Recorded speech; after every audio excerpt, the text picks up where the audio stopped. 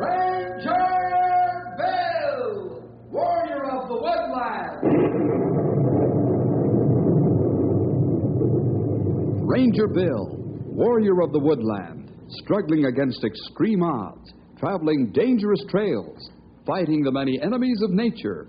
This is the job of the guardian of the forest, Ranger Bill. Pouring rain, freezing cold, blistering heat, snow, floods, bears, rattlesnakes, mountain lions. Yes, all this in exchange for the satisfaction and pride of a job well done.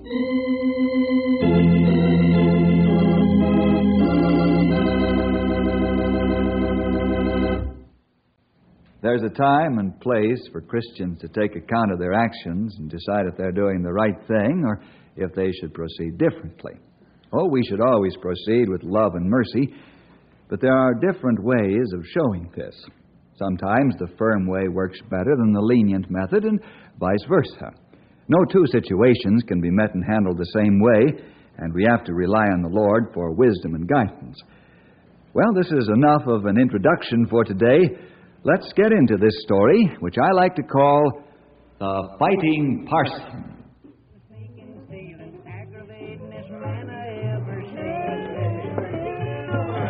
Careful of the steps, Sarah. I ain't worried about the steps near as much as I am about getting hurt passing down the street in front of these saloons. Now, Sarah, we'll be all right. Just mind our own business. Look out, Ebenezer! I see him. Oh, let's go home. These drunken men like to scare a body half to death. We've got to go to the general store. I- I'll call Gibson and have him deliver the groceries. Come along now, Eb. Yeah, if we had a constable in this town with any backbone, he'd see that decent folks got some protection on the street.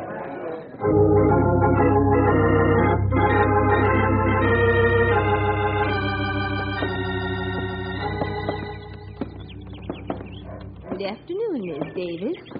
The children? She can't hear you, Sarah. I think her hearing aid's broken. Poor soul. If her husband didn't spend most of his paycheck on booze, she'd be able to have that gadget fixed.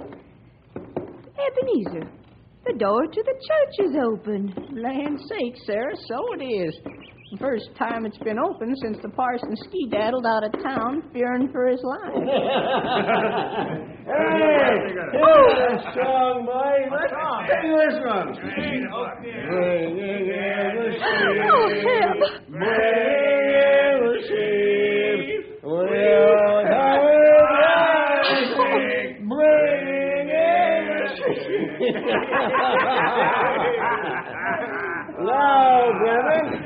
Let's ah. take up the money. All right, money. Here And then we'll have the preaching, but the parson oh, we ain't got because he's so yeller in the run.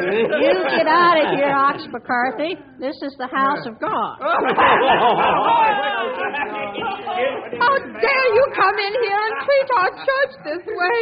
The Lord will deal with you about this. He's the only one that can, lady. Everybody else is plumb scared to death.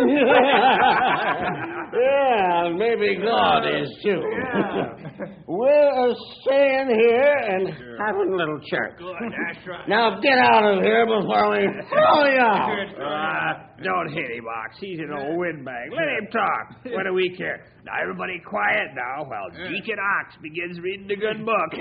You think you're pretty tough, don't you? Yeah, we do.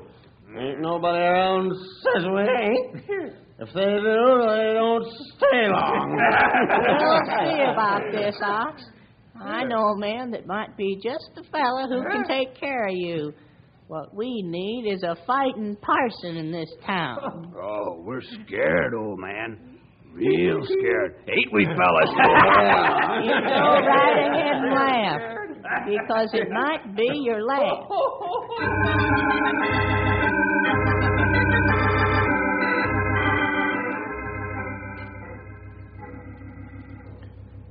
That's the whole story, Bill.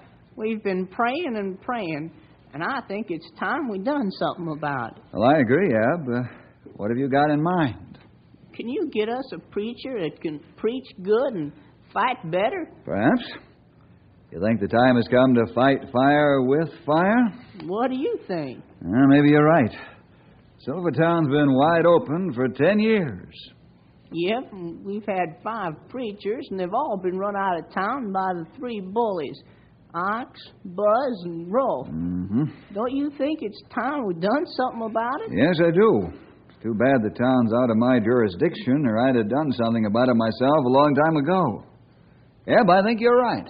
Good. Right about what? You want a fighting parson, don't you? I sure do. One with anvils for fists and spring steel for muscles. I know where you can get just the man. Spence Fielding should make a fine fighting parson.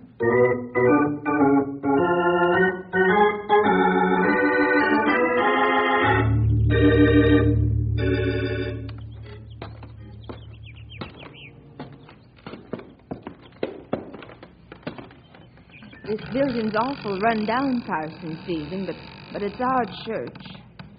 Eb and I have prayed many years now that the Lord would send us a man who could make our church the pride and joy of the town. We don't like to discourage you right off, Parson, but it ain't fair not to tell you what's been going on hereabout. Well, thank you, Sarah. Eb, you folks just keep right on praying, and I'll get some tools and nails and start fixing up this building. Hard work never hurt anybody. You planning on holding worship service come Sunday? Yes, sir, I am. Got my sermon all ready. I worked on it coming down on the train. Praise the Lord. Parson, I'm going home and get my cleaning dress on, and I'll be back with a brush and bucket. Come along, Ebenezer. But, Sarah, we ain't told him about the trouble. We'll let the Lord take care of the trouble as it comes, just like He helped Moses when he had trouble.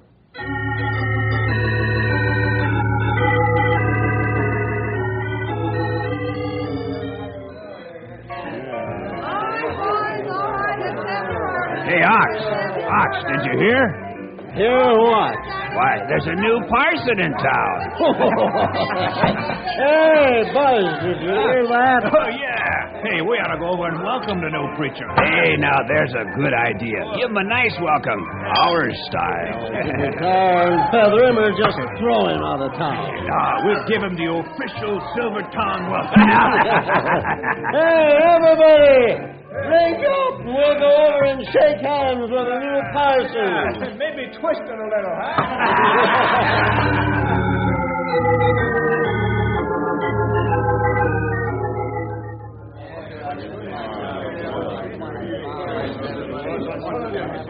Howdy, parson. How do you do? What's your name? Ox McCarthy.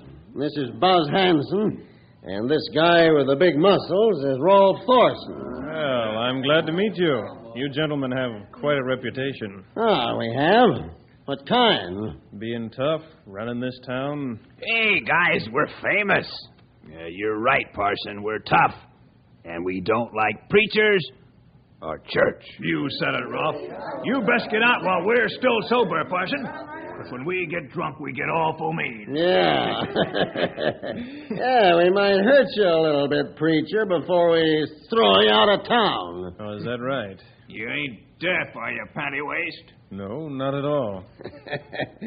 Now, it's uh, too bad you bought this paint, 'cause uh, it looks like it might get spilled all over the ground. I wouldn't try that if I were you. Oh, look out, Ox. You might get hurt.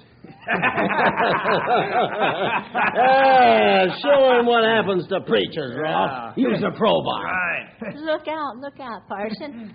Oh, I ain't gonna hit him with this, old man. You think I'm a coward? Now, you watch this crowbar, Parson. Yeah.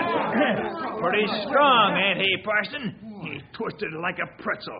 That could be your neck. Well, that's very impressive, Rolf. May I see that crowbar, please? Sure. Put it in your suitcase as a souvenir when you leave. Oh, I'm not leaving.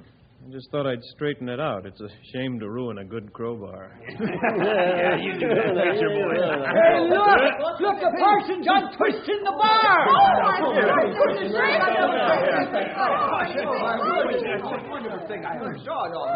What's the matter, Ox?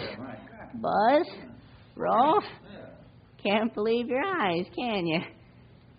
This man's a grand weightlifting champion and wrestling champion at State University. ah, you thought I was joking, didn't you, when I said we'd get us a fighting parson? Well, here he is.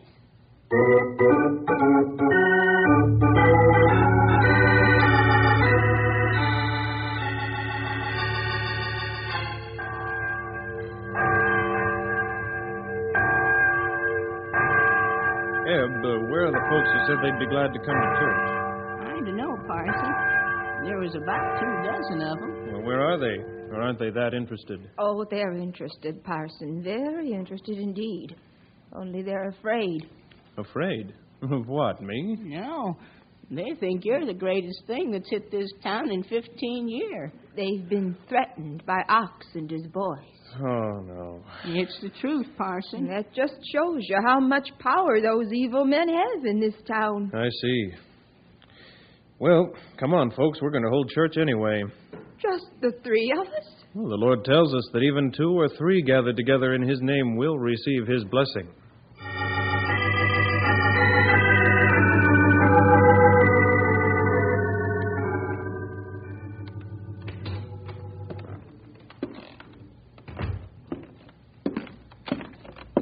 Morning, Parson. Morning, Constable. What can I do for you this morning? Uh, Several dozen of the citizens of this town have been threatened with bodily harm if they attend church. Now, what are you going to do about it? Hmm, What do you expect me to do? Well, stop this persecution. You want me to try and stop Oxen's boys? Not on your life. Is that all the effort you make to enforce the law around here? Parson, I have offered to quit this job, but there ain't a man around here that wants it, and I want to stay healthy. You know as well as I do that I'm no match for those tough miners. Yes, I guess I do. Well, thank you for your time. Parson, Yes, what are you going to do? I don't know yet. I'll have to think about it. But one thing you can tell Ox is that I'm not going to quit.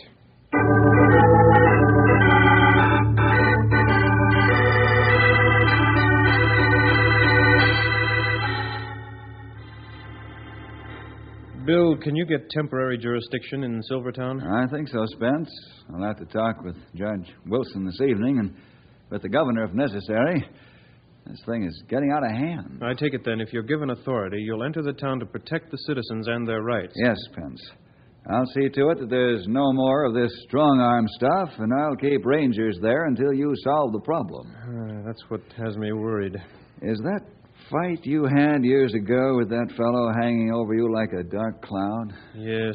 Yes, even though it all happened before I became a Christian, I can still hear the judge talking to me in his chambers after that doctor told us that Steve was Mr. dead. Fielding, I've taken all the facts of this case into careful consideration and find there's no deliberate intent to kill on your part or to do bodily injury.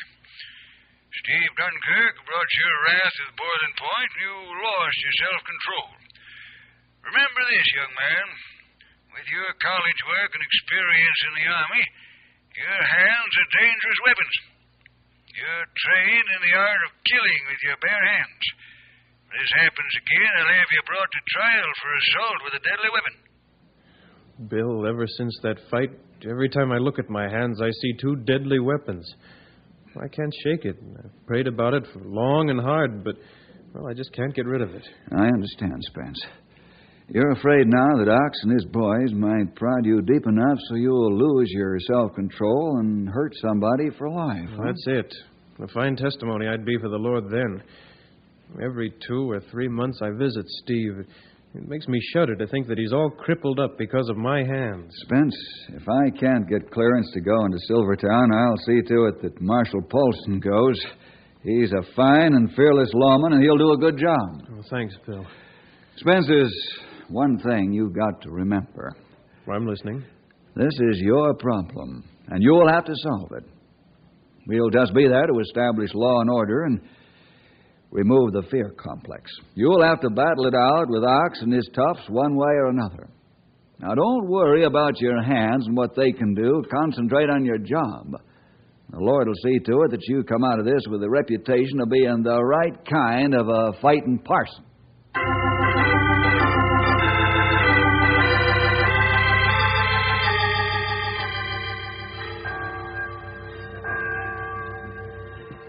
Oh, there goes that church bell again. This is the second Sunday he's had church. But it's gonna be his last. Are you joking? You know we can't do nothing till them Rangers leave Ox. Yeah, we ain't fooling around with no federal cops. Besides, they play pretty rough. Look at them clubs they got with lead in the end. And automatic shotguns. And they got horses that ain't scared of nothing. No, I ain't blind. We ain't gonna mix with them Rangers. I don't want nothing to do with them either. That boss ranger, Bill Jefferson, is one tough hombre. Ah, Look at all the people in this town going to church. Ox, we're losing our grip. No, we ain't. Not yet. I ain't through with that preacher.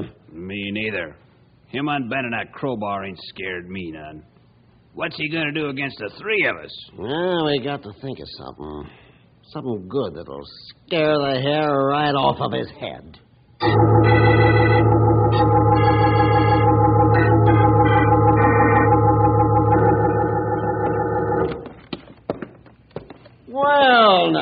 Ain't that a pretty picket fence the parson's fixing for the church? Oh, thank you, gentlemen. It sure is. It's a shame it's going to have to get busted up like this.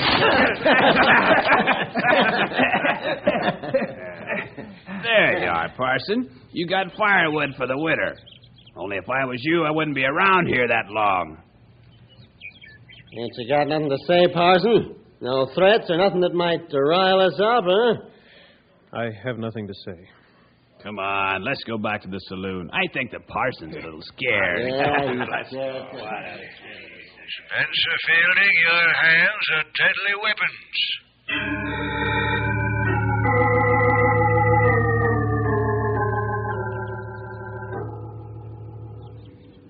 Hey, fellas, here comes the parson, all loaded down with groceries. Well, now, ain't that a shame?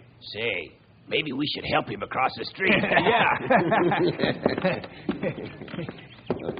Parson, you shouldn't be carrying such a big load. Let me help you. I'll manage very nicely without your help, Ox. I said, let me help you.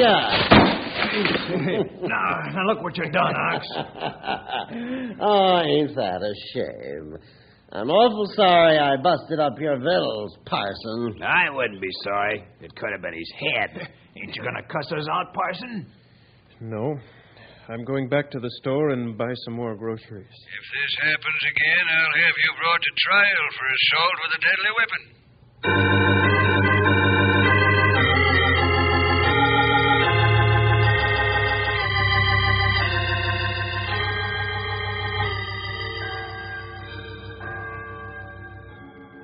Oh, there goes that stinking church bell again.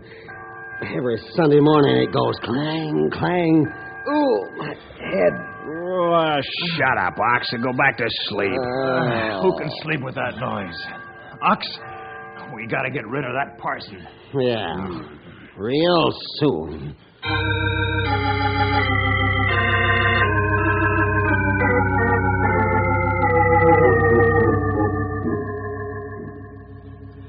Parson, we're heading up a committee to make a complaint.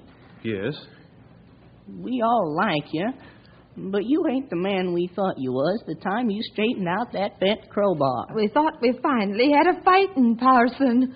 Well, go on. You ain't fighting. Ox and his hoodlums have pushed you all around town. As soon as the Rangers leave, we'll be right back where we started. Folks will be afraid to come to church again. You're right, folks. Yes, you've got a legitimate complaint. Well, what are you going to do about it? I don't know. I just don't know. Well, you'd better make up your mind soon. Either straighten things out or we'll have to look for another man. A parson with some backbone.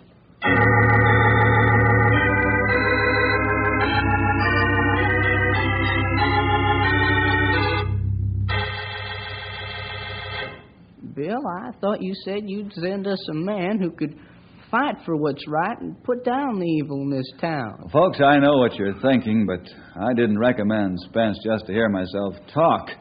He's the man for the job, all right. Oh, talk, talk, that's all we hear. We're getting tired of it. As soon as your Rangers leave the town, the problem will be the same. Ox and his bad men will run this town again. Folks, I give you my word, we're not going to leave until Spence solves his problem. Well, then you ain't going to be here long. Hmm, what do you mean? If he doesn't do something soon, we're going to have to look for another man.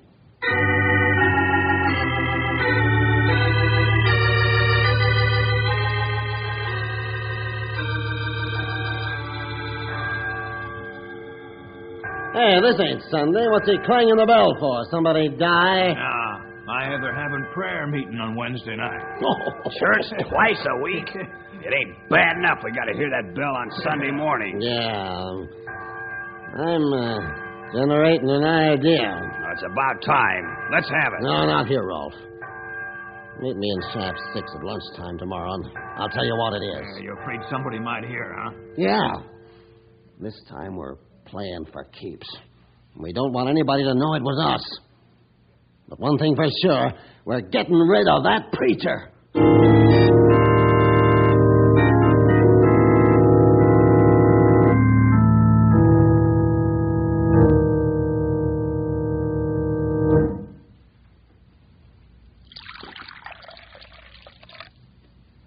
Thanks, Spence. Well, you make good coffee. Oh, thank you, Bill. I uh, suppose Ebenezer's talked to you about me by now. Yeah. But uh, don't let it upset you. Why not? I'm no coward. I could wipe up the street with those three clowns before they knew what hit 'em. Oh, I'm fed up with getting pushed around. I'm here to fight for right. And a lot of fighting I've done. Well, I don't care about myself, but I do care about the folks that look at me like look to me like the children of Israel did to Moses. I uh, understand how you feel, Spence. How can you understand? You're an experienced and tough cop. You've got guns and men. You can crack heads open if the miners get rough. If they go wild, you can gas them into submission. It's easy for you to say you understand, but do you? Do you know how I feel? I'd like to bang heads together, too, with my fists. Those men and their whiskey sodden brains are no match for me, and you know it, and I know it, and the whole town knows it. Is it all out now? All the pent up emotions you've kept under lock and key? Oh, I, I'm sorry, Bill. I had to let it out or burst. Uh, I'm, I'm not mad at you, just at myself. Eb is right. I ought to put up or shut up and get out. Did you ever read the book of Job? Why, are you serious? Of course I read the book of Job. Have you forgotten what you read? No, no, of course not. I think you have. You're talking in riddles. What did God permit Satan to do to Job?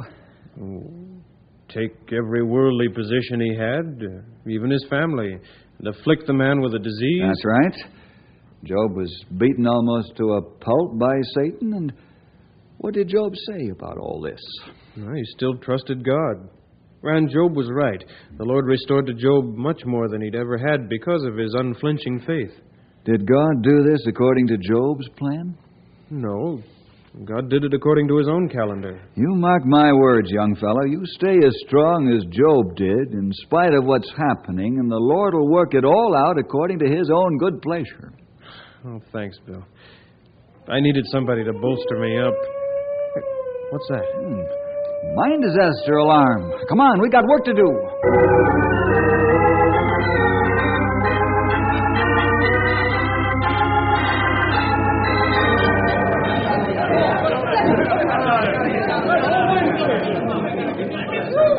Superintendent, what happened? Uh, hello, Parson. Uh, there's been a cave in number six shaft. Uh, what can I do to help? Bury them when we get them out. Is it that bad? Yes, I'm afraid so. There are ten men trapped right down here where this X is on the chart. No hope at all? Well, let's face it, this is the worst one we've ever had. There's gas forming down there. Joe is down there now trying to make contact. Uh, we'll know when he comes back to the surface. Oh, here he comes now off the lift. Oh, she's a look real bad down there. Oh, how bad, The Joe? cave and she's a 15 or maybe 20 feet long. A real bad, boss. Oh, I was afraid of that. How's the gas? I gas? don't know, not so bad, not so good. We're blowing out and start big, no?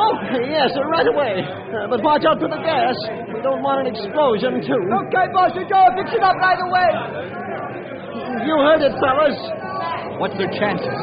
Slim. The dust of the cave in mixes with what little air there is and makes it rough.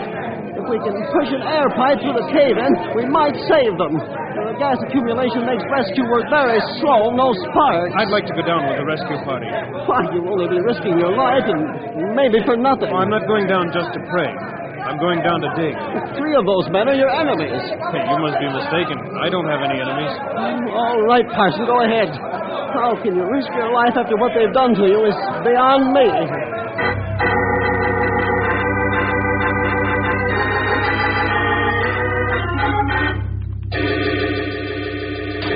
We get through just in time, a person. Everybody she's alive still. Yes, they're all alive. Some of them are injured. They'll have to be moved up on stretchers. Okay, Joe, fix it up. Just as soon as we make a bigger hole so it cave in. We all better get back to the shovels in that case, huh? No, you and the person take care of the men. Uh, Josie to make sure everything go fast as she can. And maybe an hour we can move them to the surface.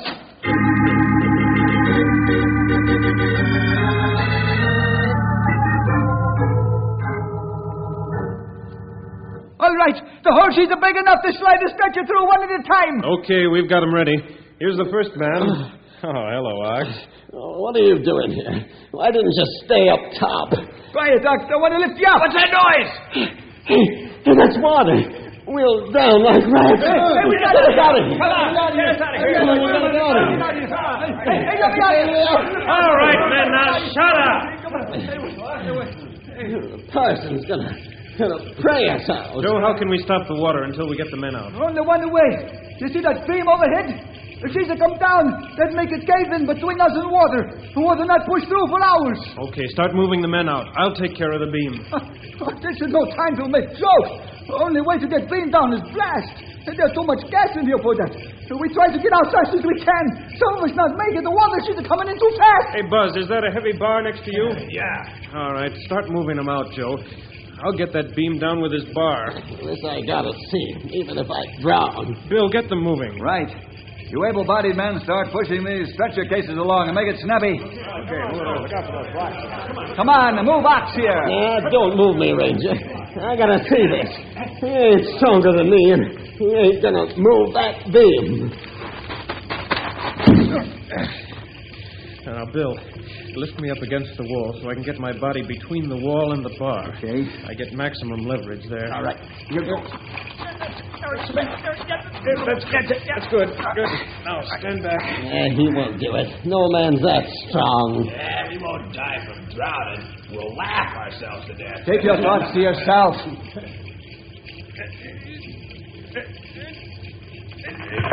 The beam! She's beginning to give way.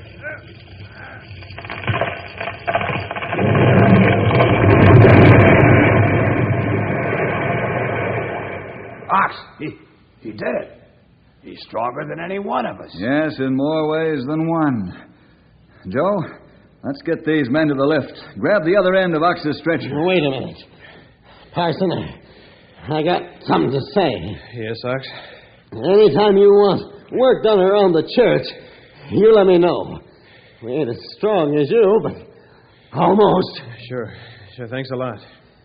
Every time I hear that church bell, I'm going to be glad.